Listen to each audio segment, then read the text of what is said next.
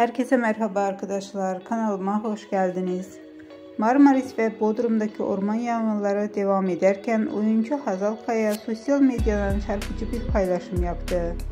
Orman yangınlarına yapılan müdahalenin yetersiz kaldığını söyleyen Hazal Kaya, kendisine ait resmi sosyal medya hesabından göz göre göre yanıyor cennetimiz.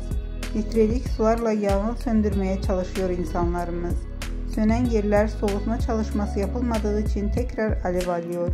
Neredesiniz ya? Neden müdahale etmiyorsunuz? Neden yalnız kaldı koca ülke?